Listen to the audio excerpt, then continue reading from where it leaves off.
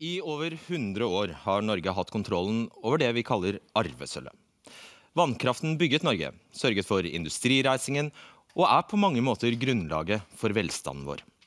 Vi har blant Europas laveste strømpriser, så hvorfor være med å lage fri flyt, som kan føre til at vi får dyrere og skitnere strøm?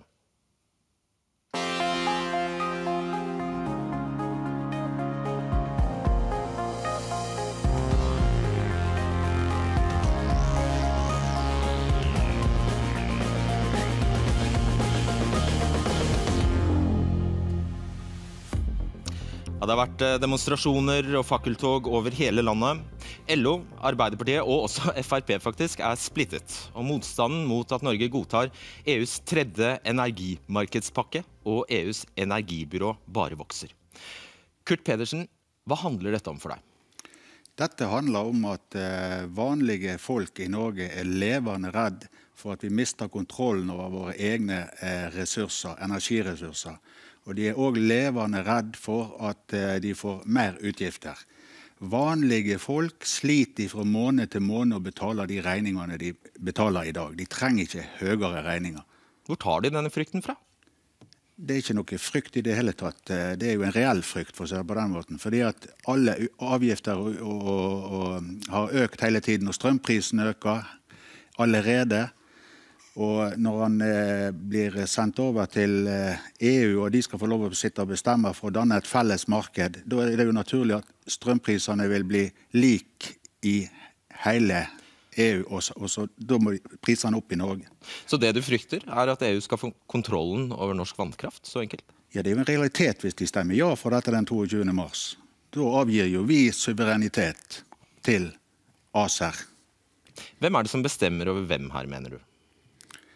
Ja, Det er et godt spørsmål. Folket ser jo ikke ut til å ha noe å si i den saken i det hele tatt. Så eh, Folket blir jo overkjørt av de norske politikerne. Så vi, vi mener jo det at de bør gå vekk fra hele avtalen og la oss bestemme over våre egne ressurser. Og Du er så opprørt faktisk at du har, eh, du har foretatt deg, eller kommer til å foreta deg noe?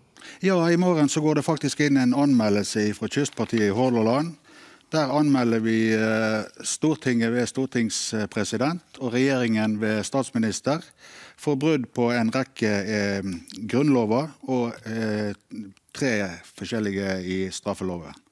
Den blir innlevert i Bergen i morgen når jeg kommer hjem. Da er du anmeldt her i Sørvik? Ja, det er han i morgen. Ja, og det er det ingen grunnlag for. Og jeg kan berolige både Pedersen og andre om at tredje energimarkedspakke og energibyrået ACER ikke vil føre til økte strømpriser i Norge. Det er ikke det ACER eh, driver med. Vi skal fortsatt ha nasjonal kontroll på energiressursene norske energiressurser forblir norske. Og norske myndigheter skal fortsatt styre norsk energipolitikk. Både i forhold til konsesjoner når det gjelder ny fornybar energi, når det gjelder utbygging av nettet vårt, og når det gjelder å ta stilling til eventuelt nye utenlandskabler. Dette berører ikke ACER i det hele tatt. Så det er en overdreven frykt der ute som er skapt gjennom den debatten som har vært. Og det har vært en god del usannheter der ute som det er viktig at vi nå får satt på plass, sånn at vi kan få en ryddig, faktabasert debatt. Ja, og nå kommer du med ytterligere usannheter. For jeg er såpass gammel at jeg har kjørt fra Vestlandet til Østlandet og sett hvordan det var før energimarkedet slapp løs på 90-tallet. Da var alle vannmagasin i Norge full, og de sparte til vinteren. Så slapp de løs energimarkedet ved Einar Hope, som var energilovens far og så meldte seg inn i Nordpool. Og hva skjedde? Nesten over natten så minka bassengene 10-14 meter, og siden har de lagt der nede. Og de blir styrt. Ja, men la, la, oss ta litt bakover det, for dette er viktig. Og det kommer til å bli enda verre når når de skal få bestemme. Vi fikk et velfungerende nordisk energimarked på 1990-tallet. Eivind Reiten og Senterpartiet Nei, som sjøsatte dette. Og det har tjent oss godt i, i ettertid. Og la meg bare ta én ting du sa innledningsvis, nemlig at uh, energiprisene er stigende. Hvis vi tar siste tolvårsperiode, fra 2005 og fram til i dag, så har prisen forbrukerne betaler i Norge, lagt pluss-minus ei krone per kilowattime gjennom hele den tolvårsperioden faktisk lavere de fire siste årene, fordi vi har hatt eh, gode eh, rene år med, med, fulle magasin. Og eh, hvis vi ser på totaliteten Jo, men det er, dette er helt feil. Nei, dette er ikke helt feil. du regulerer prisen med nettleien som spratt rett i været. Nei, vi har hatt en jevn sluttpris til forbrukeren, og det er det som er viktig for forbrukeren. Okay, men ta tak i det aller viktigste. Ja. Han sier nemlig at du er i ferd med å overlate kontrollen over kanskje det dyrebareste vi har, til EU. Nei, det er vi ikke. og det finnes ingen regjering i Norge, uansett partifarge, som ville vært med på en sånn beslutning og gi fra oss styringa av vannkrafta vår, energiressursene våre. Det ville aldri skjedd. Og jeg som erklært EU-motstander ville ikke stått her og argumentert for tredje energimarkedspakke og ACER hvis jeg hadde den minste frykt for at det som du beskriver skulle skje. Jo, da hadde vi ikke gjort det. Det som kommer til å skje, er at, altså, det at ACER er et samarbeidsorgan for EU for, Jo, men det er viktig. Vi skal for, pløye ned i detaljene etter hvert her. Det, det som er viktig for det er å få til et bedre samarbeid internt i EU, fordi at de skal fase inn ny fornybar energi. Ja, du, er jo, du, er jo, regjeringens uh, løpegutt for å få i stand den avtalen. Det er jo derfor du sitter som energiminister. Ingen løpegutt. Jeg er statsråd knyttet til olje og energi og, og gjør den jobben jeg skal i forhold til EØS-avtalen. Men jeg står her og på vegne av vanlige folk som sliter i dag med å betale regningene sine. Jo, men vi er enige om at... De er berettiget bekymra for det som skjer jo, nå. Men de er Derfor må vi stoppe det. For nok er nok. På grunnlag av en feilinformasjon gjennom den debatten som har pågått noen måneder. Det er ingenting i tredje energimarkedspakke eller ved ACER-tilknytningen som vil gi høyere strømpriser i Norge. Men det kommer, det kommer vel fra et sted, Søviknes? Ja, man kan jo diskutere det. da. Det er mange ulike interesser her som er ute og går. Og Nei til EU har et veldig sterkt ønske om å kjøre en stor EU-debatt ut av dette, og bruker da tredje energimarkedspakke og ACER. Sier du de lyver? Nei, de bidrar i hvert fall ikke til å opplyse debatten med fakta alltid. og En ser på alle de leserbrev, de innlegg i sosiale medier som er nå, så er det mye der som er reinspikka løgn. Nå skal du få noen fakta. Så det ingen som ikke har vært oppe i diskusjonen i det hele tatt. Ja. Og det er Først så tok de ifra oss muligheten til å fyre med olje. Nå er de i ferd med å ta ifra oss muligheten til å fyre med ved, og da sitter vi igjen med elektrisitet. Hva skjer den dagen det er like kaldt ute som det er nå, når strømmen går? Da har man eh, selvfølgelig Har vi kontroll over ressursene ja. våre sjøl, så kan vi styre det sjøl. Men, men, men, men, det er en logisk brist i det du sier der, for nå snakker vi om strømmen. Og det som er viktig da, er forsyningssikkerhet samla sett for Norge. Og la meg da ta et eksempel igjen. I 2010 hva skjedde i 2010?